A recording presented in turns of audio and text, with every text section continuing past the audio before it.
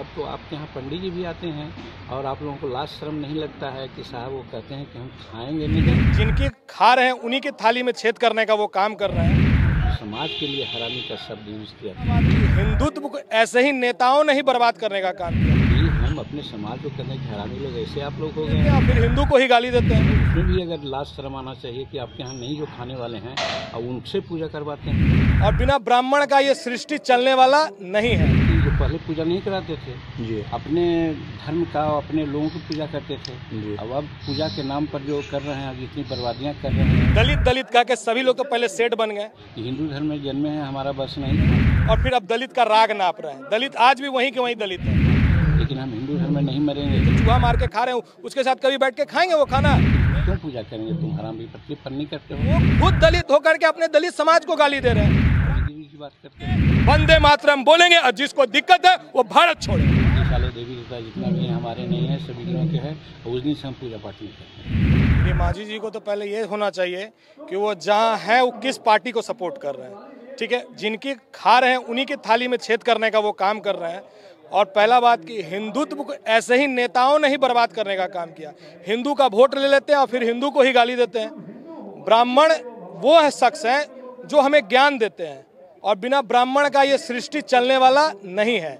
और उनको पढ़े लिखे हो करके इस तरह का अब्द शब्द का प्रयोग करना उनको शोभा नहीं देता है राजनीतिक, क्योंकि वो ब्राह्मण का ही वोट ले, ऐसा नहीं कि सिर्फ़ दलित का ही दलित वोट लेकर के कोई नेता बना है आज तक।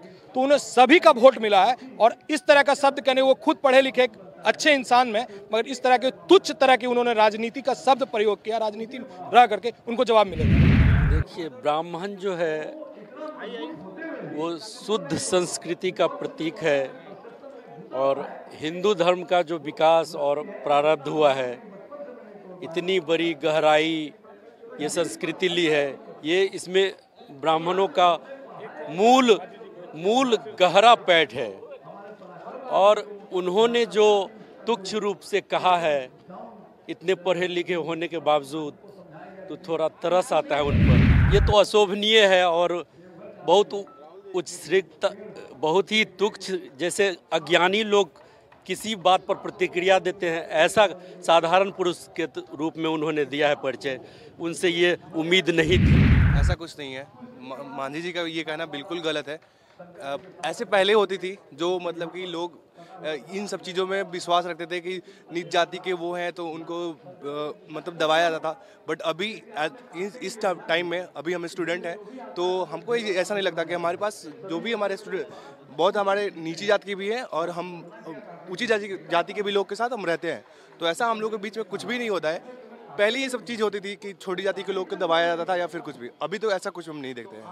तो अभी माझी जी जो उन्होंने बात कहा ब्राह्मण और शूद्र। शूद्र आदमी शब्द नहीं था। इन लोग दलित दलित कह के सभी लोग तो पहले सेठ बन गए और फिर अब दलित का राग नाप रहे हैं। दलित आज भी वहीं के वहीं दलित है। ठीक ना? और माझी जी जैसे लोग दलित को ही अपमानित करने का काम कर रहे हैं। क्योंकि जो व्यक्ति अगर माझी जी अपने समाज के लोगों के साथ क्या खाएँगे खाना बैठ करके जो चूहा मार के खा रहे हैं उसके साथ कभी बैठ के खाएँगे वो खाना? नहीं खाएँगे। वो भी श्री राम बोलते हैं और, और वोट लेने के समय दलित को बरगलाया जा रहा है। दलित अब बरगलाने वाला दलित वो नहीं रहा। अब दलित हिंदुत्व है क्योंकि दलितों को दलित ने ही दलित कहा है। समझ गए ना? ब्राह्मण श्रेष्ठ जो पढ़ेगा लिखेगा जो ज्ञान देगा वो ब्राह्मण है। दलित कौन है? दलित हम हमारी सोच में ही दलितता है। तो दलित अपने आप को समझ रहे तो वो दलित है। इसलिए तो मैंने कहा है ना कि वो वो खुद दलित होकर के अपने दलित समाज को गाली दे रहे हैं। ब्राह्मण कौन नहीं है? अगर एक दलित रविदास जी देख लिए वो दलित हैं तो क्या उनको पूजा नहीं जा रहा है? ऐसे लोग ही दलित समाज को बदनाम करने में लगे हुए हैं। और दलितों को अब बरगलाने की ज़रूरत नहीं है। दलित जान चुके हैं, जाग चुके हैं, और दलित हमेशा से जाग। इसी तरह के नेता दलित को बरकाते हैं। वोट बैंक ले लेते हैं सभी जातों का, और दलित को बोलते तुमको ठगा जा रहा है। तुम दलित हो। अपने घर में क्या किसी मुसर को घुसने देंगे? जो चूहा मार के खाता है, वो कहेंगे कि आओ मेरे साथ बैठ के खाओ। वो खाते हैं, एसी वाले रूम में, मोरिया होटल में जाके बेटे को मंत्री बना दिए। क्या वो दलित समाज का नहीं था क्या? और सब नहीं है माझी दलित समाज का। एक भी नेता दलित समाज के वो खड़ा करके दिखाए, दलित को इतना बोल रहे हैं तो ब्राह्मण का वोट लेते हैं। ब्राह्मण के यहाँ जाएँगे, जय श्री राम बोलेंगे और ब्राह्मण को ही गाली। ब्राह्मण का मतलब होता है जो हमें ज्ञान दे, क्षत्रिय का मतलब जो हमारी रक्षा करे, वैश्य का मतलब होता है जो हमें भोजन देने का काम करे। और दलित नहीं है, सेवक दिया गया था। इन लोगों ने दलित को ही दलित बनाया है। ऐसे नेताओं में दलित, मैं भी एक समाज से हूँ, और मैं कहना चाहूँगा कि आप जाग जाएगा दलित, और दलित कभी किसी का सुनने वाला अब नहीं है। हम लोग जय श्री राम हैं जय श्री राम रहेंगे और भारत माता की जय बोलेंगे वंदे मातरम बोलेंगे और जिसको दिक्कत है वो भारत छोड़े। राजनीति पे हम लोग बात नहीं करते हैं। हिंदुत्व पे कुछ बात करना है तो बताइए। हिंदुत्व का ही सवाल है। आज एक नेता आपके हिंदू होने पर और हिंदुत्व को लेकर ब्राह्मण पर सवाल कर रहा है। देखिए बहुत तरह के लोग बहुत सारी बातें करते हैं लेकिन हिंदू समझता है कि हमें हमारे लिए क्या अच्छा है और जो इस तरह से बोलते हैं उनको पहले अपनी बात को समझना चाहिए पहले। उनको एक बार जाके मंदिर में बैठना चाहिए अपने आप को अपने आप को पहले समझिए उसके बाद किसी और को बोलिए। आप एक इंसान हैं आप धर्म को लेके इस तरीके से जो बोल रहे हैं वो आपको दर्शाता है कि आपकी मानसिक संतुलन अभी सही नहीं है। किस बिहार- नेता को इस तरह का बयान देना चाहिए हम जात पर नहीं जा रहे लेकिन नेता नेता जो हैं वो तो फ़ायदे के लिए कुछ भी कर सकते हैं। अंदरूनी बात पे जाइए तो बहुत सारा बात निकलेगा कि नेता लोग अंदर तक में क्या क्या करते हैं।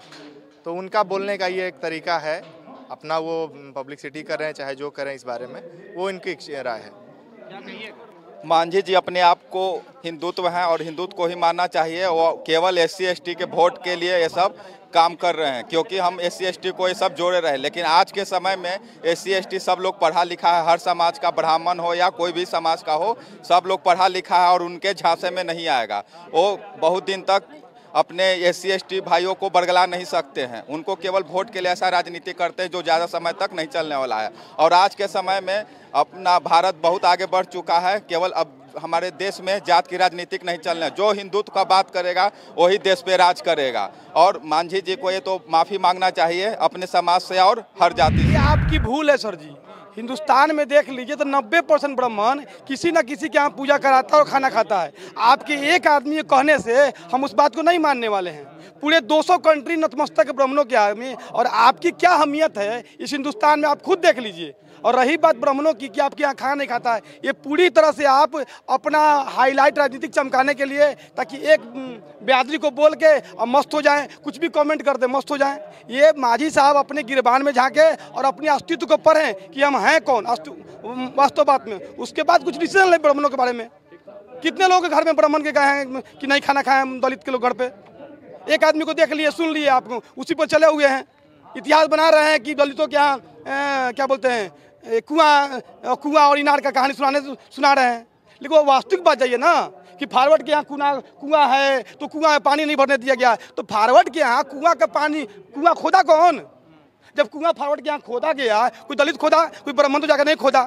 तो जब उनके यहाँ था ही तो आपके यहाँ कैसे एक कहानी बना के और पूरी तरह से लपटे जा रहे हैं, लपटे जा रहे हैं, और दिशाहीन लोगों को आप दिशा मोड़ दे रहे हैं। तो इससे आगे हम कुछ नहीं कहेंगे, और माझी साहब अगर समझदार हैं तो अपने गिरबान में झांकिए। तंत्र मंत्र के बादशाह भारत के जाने माने सर्वश्रेष्ठ। गुरु खान जी। मिलेगा हर समस्या का समाधान गारंटी के साथ। मेरी बेटी की शादी के लिए बहुत से रिश्ते आते थे पर कोई न कोई अड़चन पड़ जाती थी। इसी वजह से मेरा पूरा परिवार बहुत परेशान था। बाबा जी की दुआओं से आज मेरी बेटी एक बड़े घर की बहू बनी। भटको चाहे जहाँ काम होगा सिर्फ़ यहाँ। गृह कलेश कर्ज मुक्ति प्रेम विवाह जादू टोना। पति पत्नी में अनबन। सौतन या दुश्मन से छुटकारा, विदेश यात्रा में रुकावट, फ़िल्मों में प्रवेश और कोर्ट कचहरी जैसी समस्याओं का समाधान। सभी समस्याओं का समाधान, गुरु खान जी। अभी कॉल करें nine eight two one seven zero seven nine nine six.